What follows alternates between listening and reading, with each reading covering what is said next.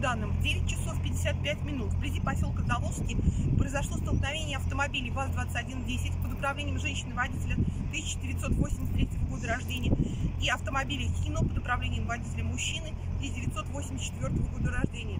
В результате дорожно-транспортного происшествия пассажир автомашины ВАЗ-2110, женщина 1984 года рождения, погибла.